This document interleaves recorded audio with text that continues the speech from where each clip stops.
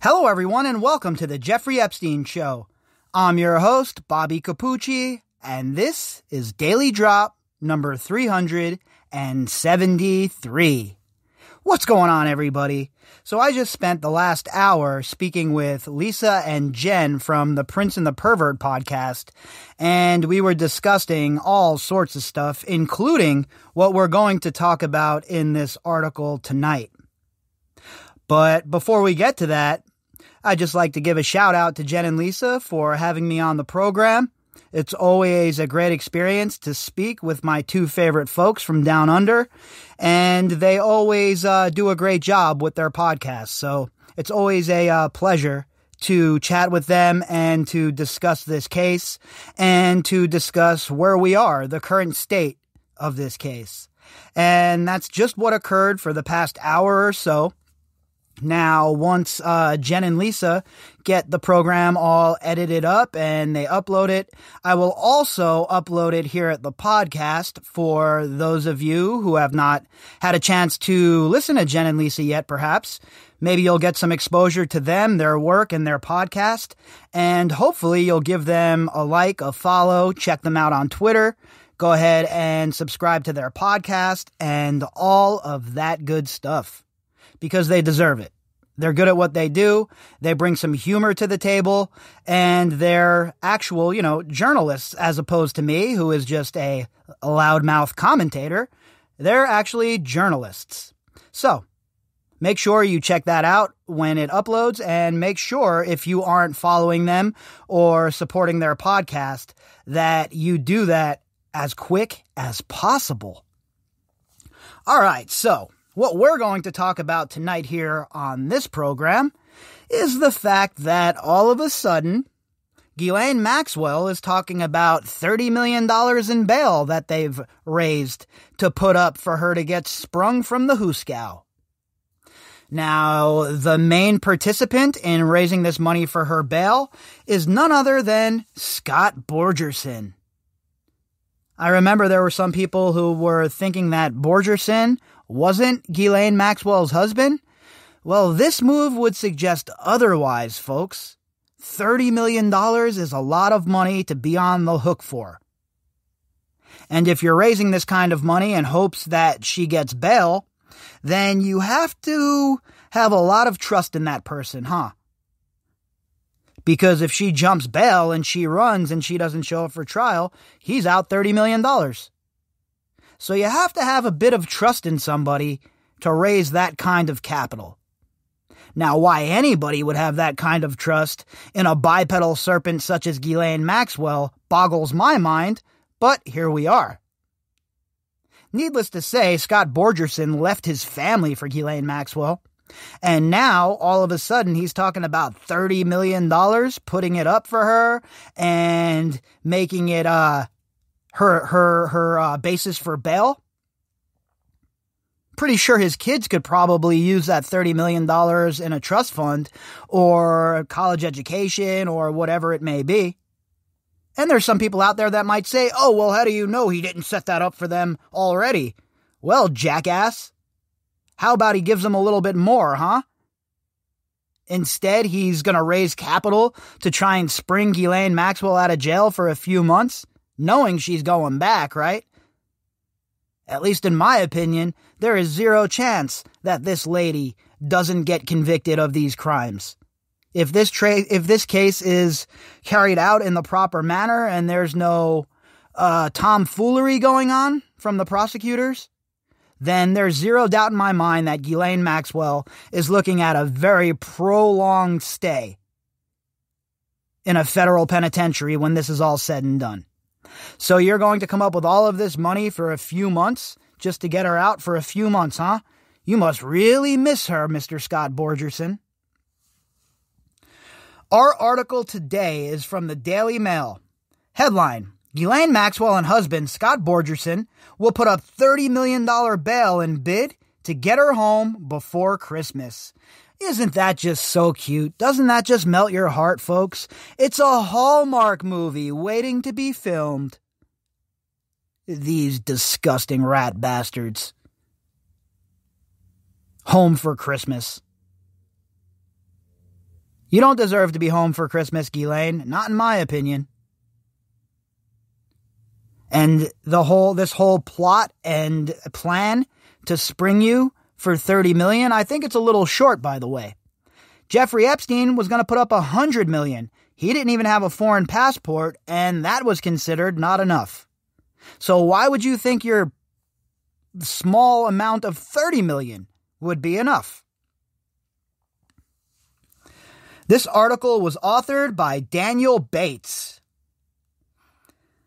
Ghislaine Maxwell will reportedly pledge a $30 million bail package to try and get free before Christmas, most of it from her new husband. And it's just, it's, it's hilarious for me to read that, right? Her new husband, this Scott Borgerson character. This dude left his family, his wife of years and years, someone who, who he had kids with, for Ghislaine Maxwell.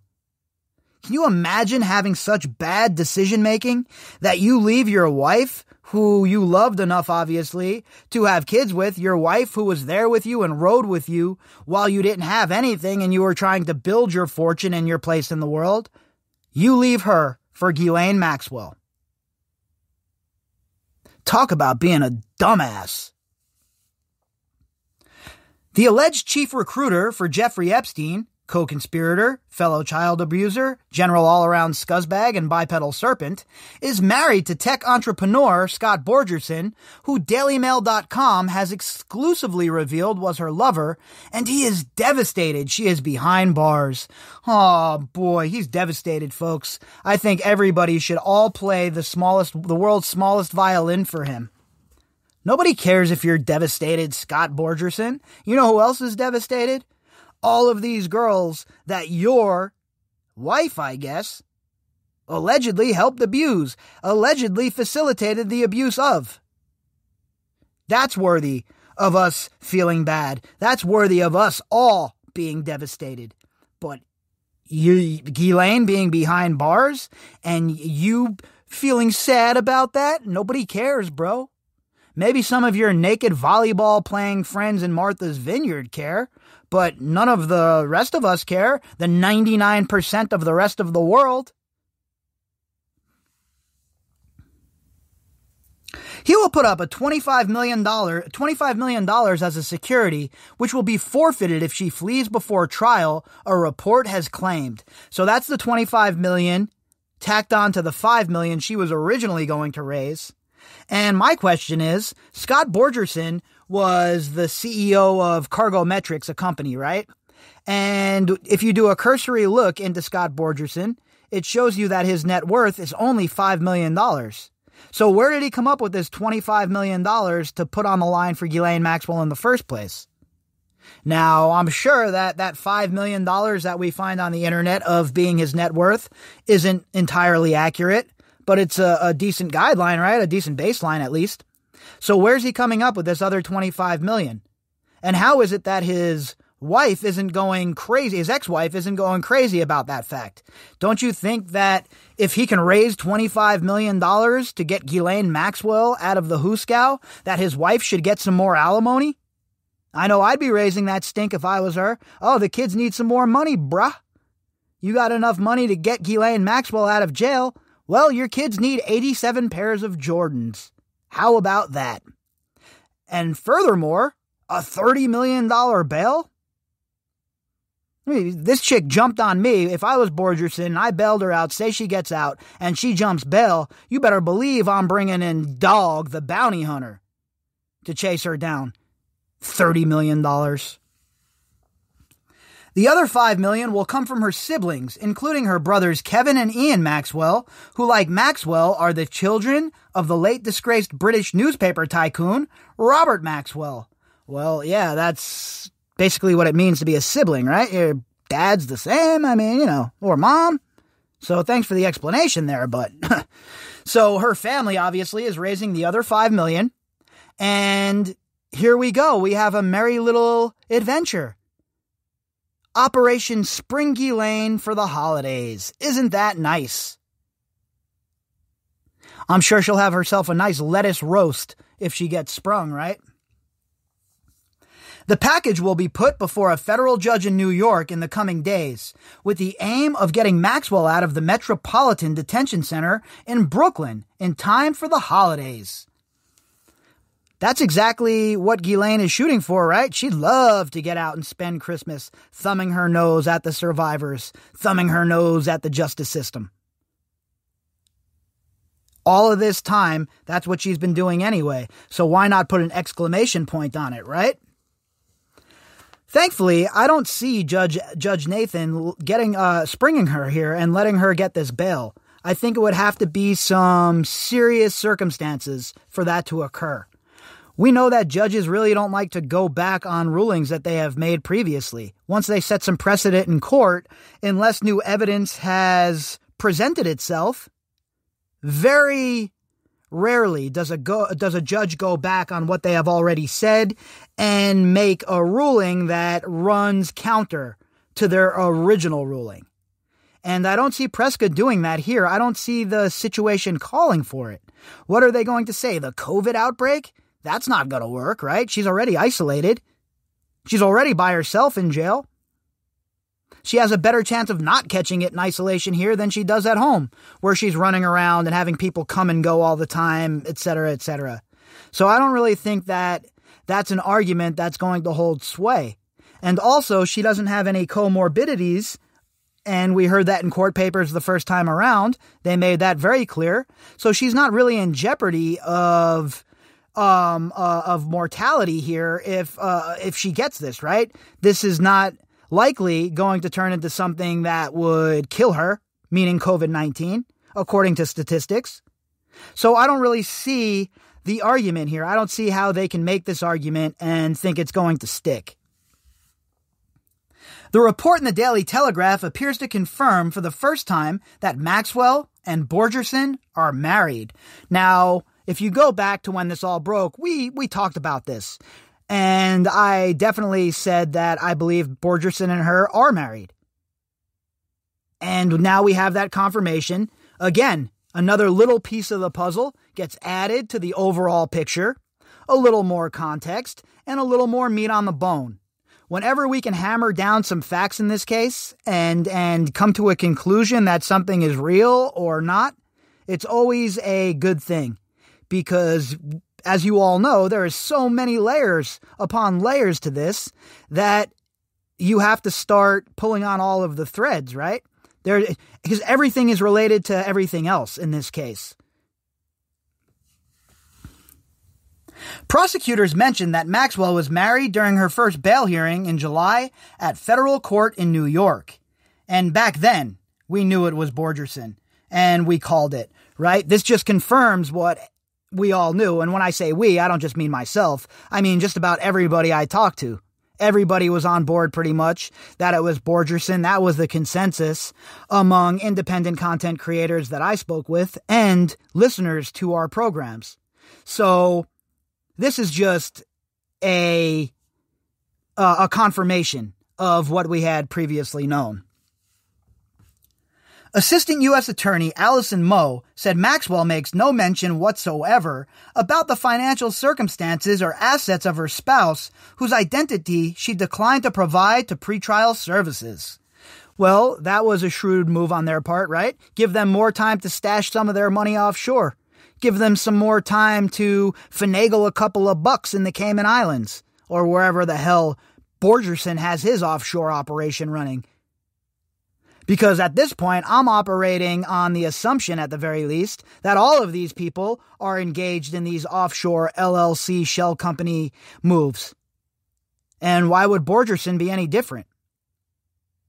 So, who knows how much money has been moved around? Who knows how much money has been hidden here or hidden there or stashed in a war chest for this eventual outcome?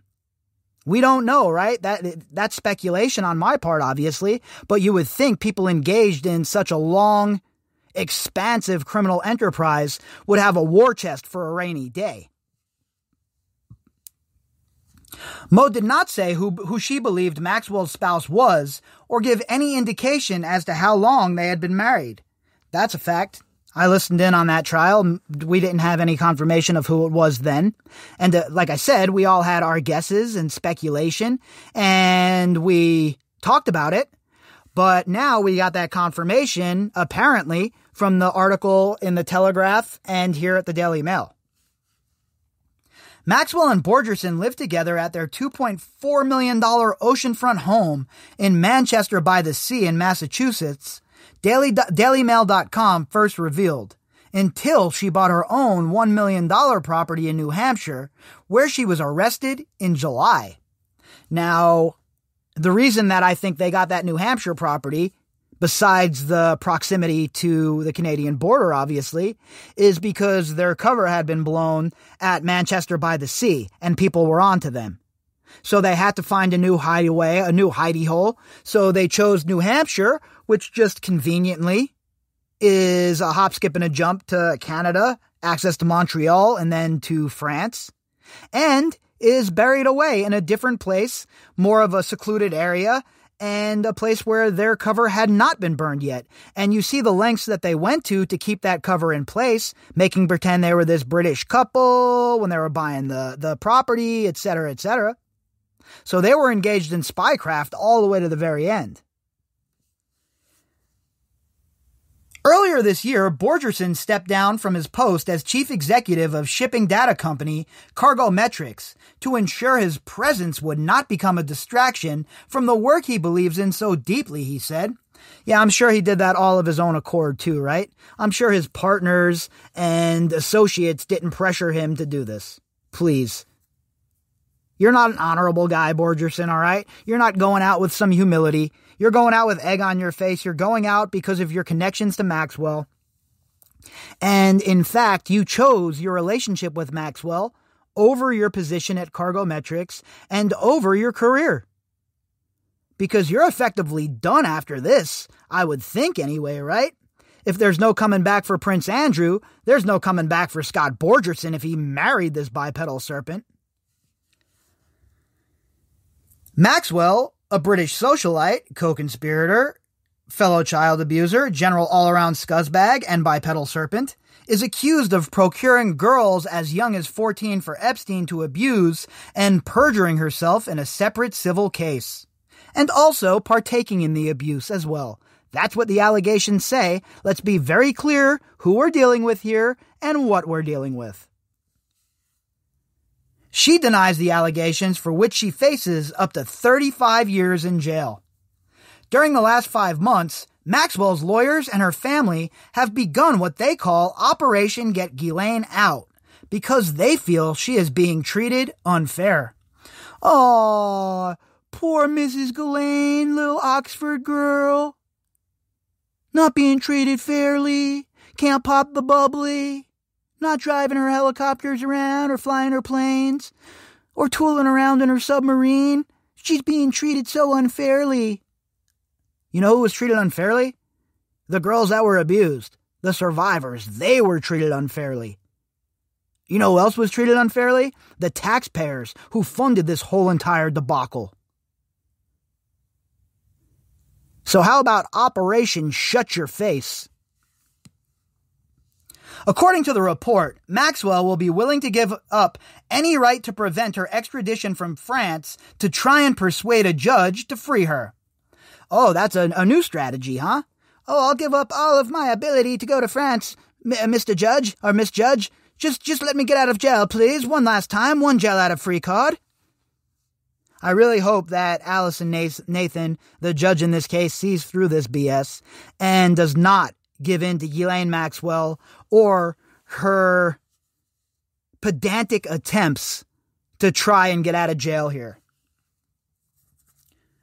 Maxwell, 58, has a French passport, and there is no extradition treaty between the US and France, which is weird to me, right? You would think a country, uh, countries like the US and France that have such a storied history together, going all the way back to the revolution, you would think that there'd be this kind of treaty in place. But France don't play these kind of games, right? They're not uh they're not extraditing their citizens anywhere. And that's just the way France rolls. But I always found it interesting considering the close ties of the two nations that they couldn't hammer out some sort of uh, extradition agreement. A private security company stands to lose an additional 1 million if Miss Maxwell evades its surveillance.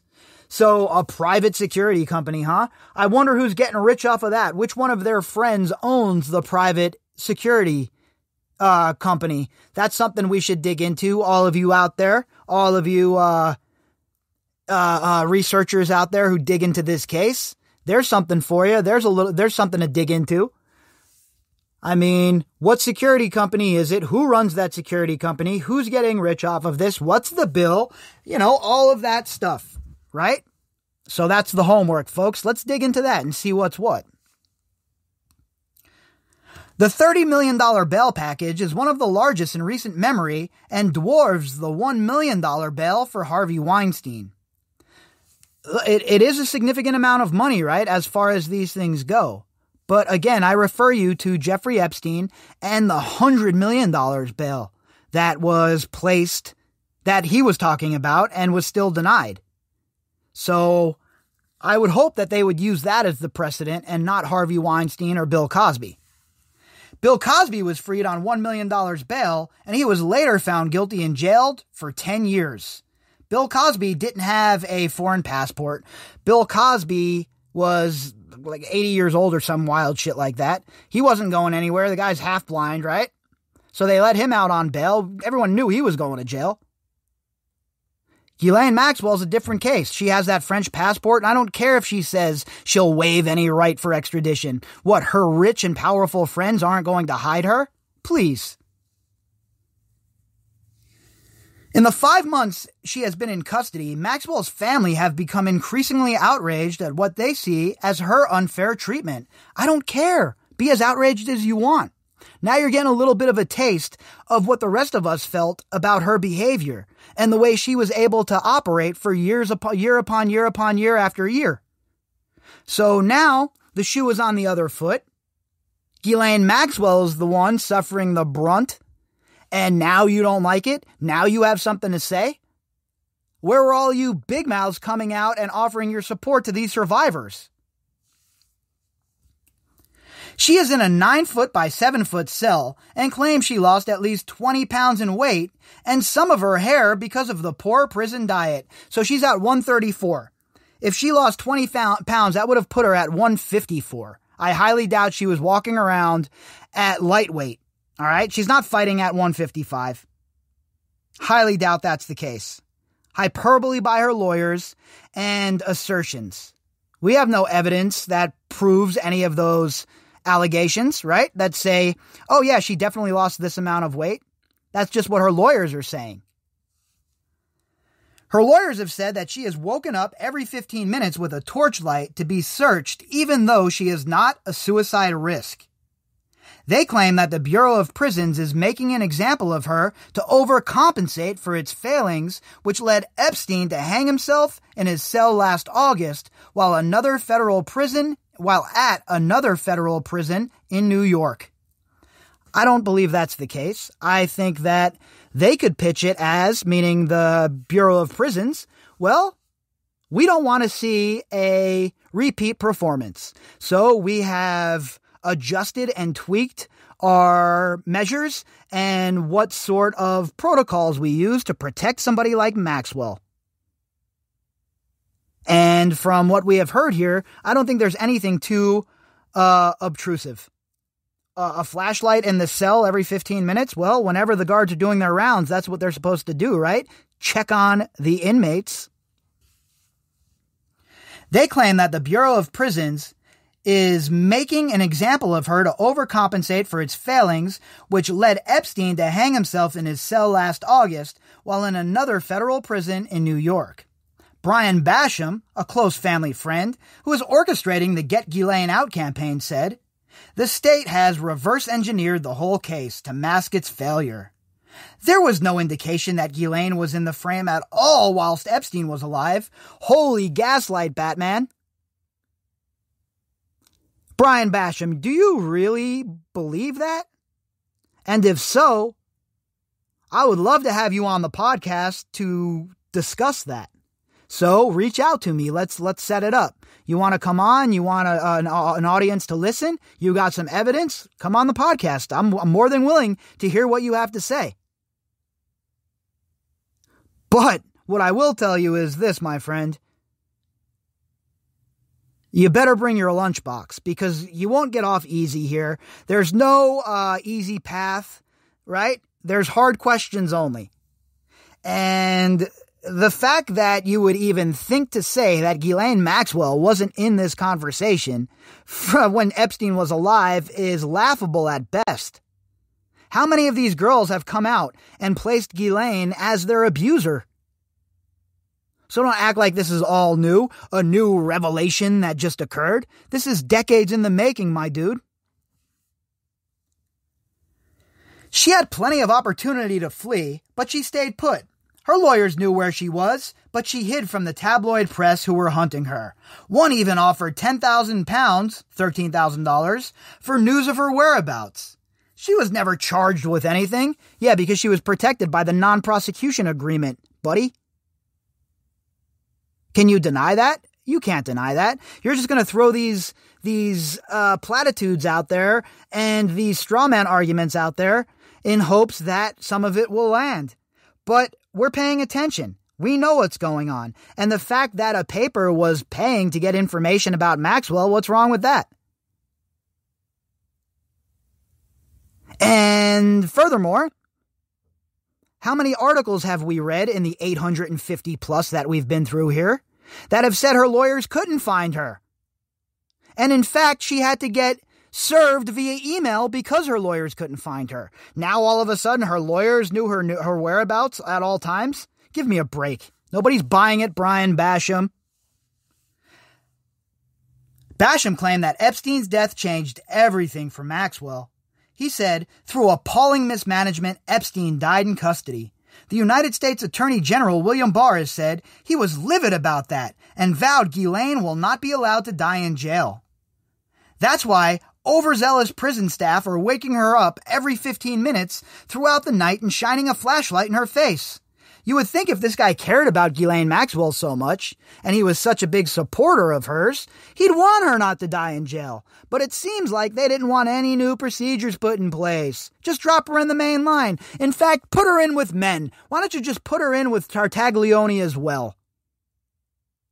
It's all absurd. Their argument's absurd. Everything about Operation Spring Ghislaine is absurd. And Brian Basham, you are absurd. Having lost the opportunity to boast brilliance in an all singing and dancing trial, the state is covering its incompetence and embarrassment by demonizing Ghislaine, first in a show trial press conference, and now by incarcerating her quite literally in worse conditions than even the most dangerous terrorist. That's an absolute lie. You ever hear of a black site, Brian Basham?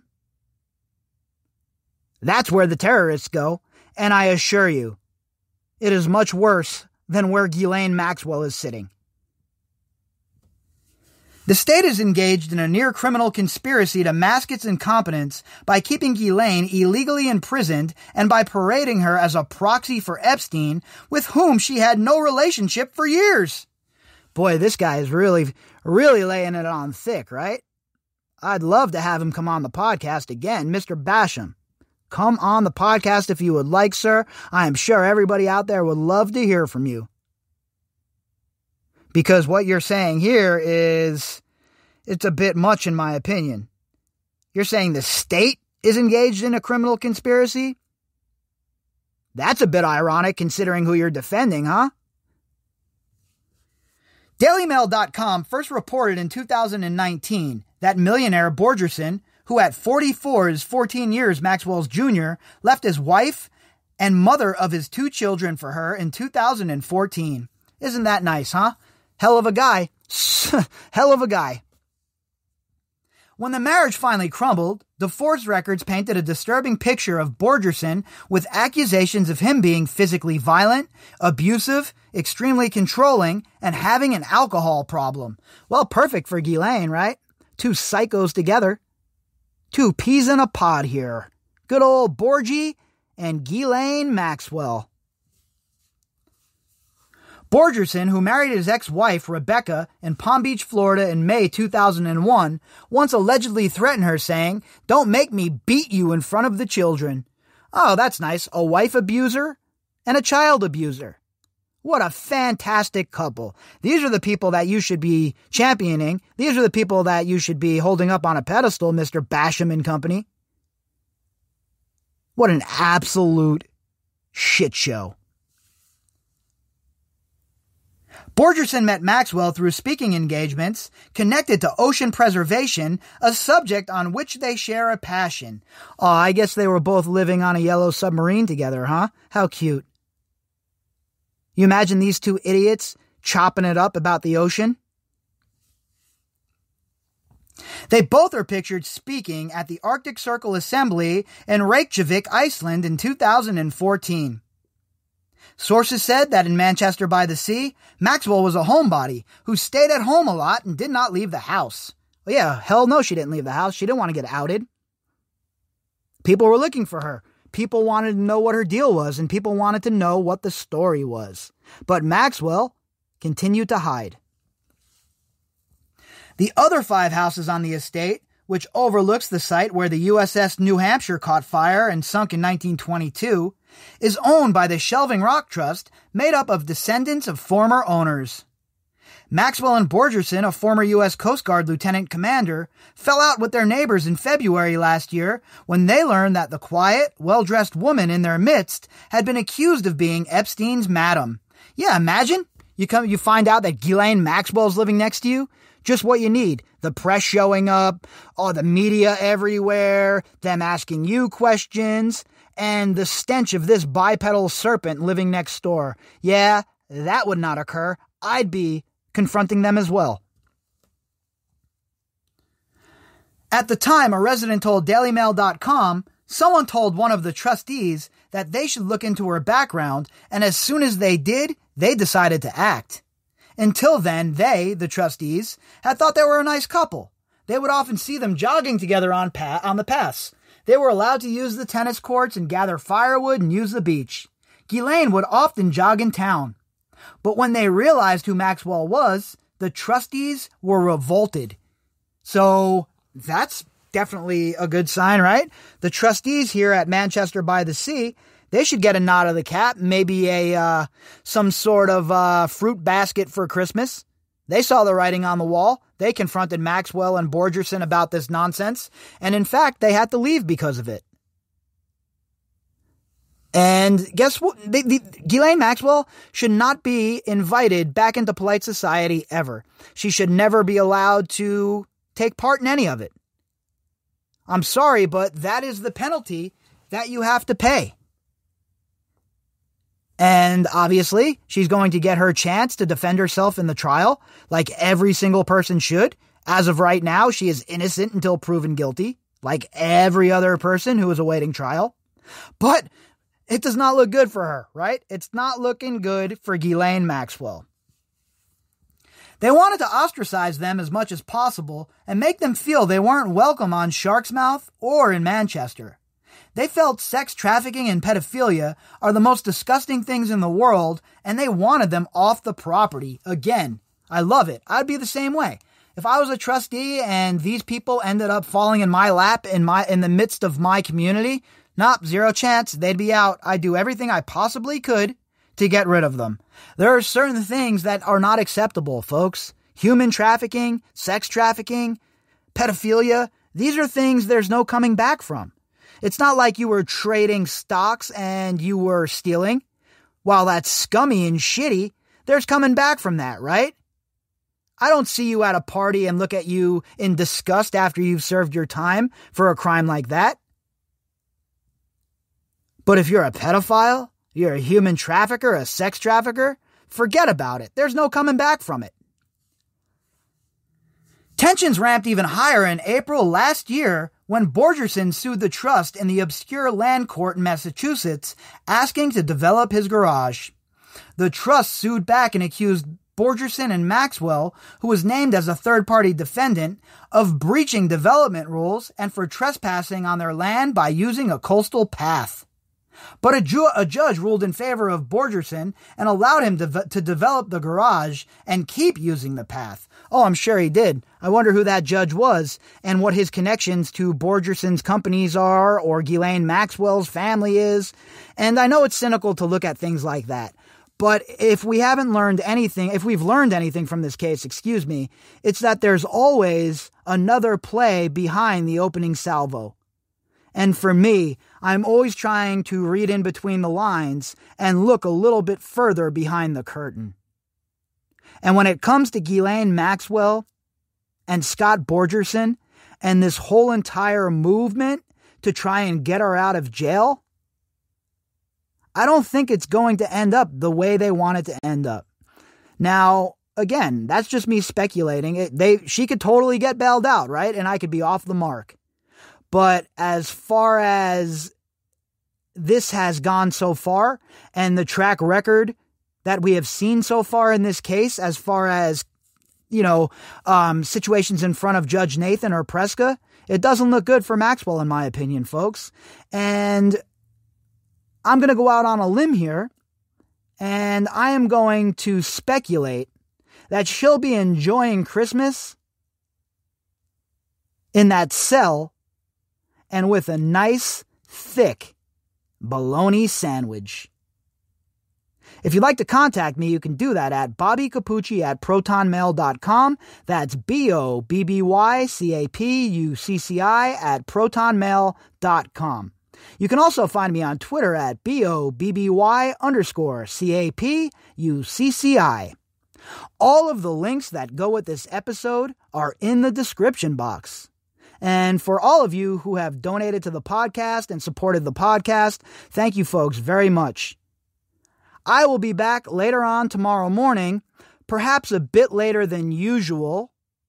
We'll see. I'm going climbing at about 3:30 in the morning, so I'll probably be, probably be home by 8 or 9 a.m. So there will be a flashback episode earlier, 4 a.m. or so, and then if there is news that has to be gotten to, obviously, in the morning, we'll jump right into it. If not, we'll wait for the daily drop and we will pick up on whatever the news for the day has been. All right, everybody. I hope you all enjoy the rest of your evening, and I hope that everybody enjoys their Friday morning. I will be back later on, and we will pick the conversation up then.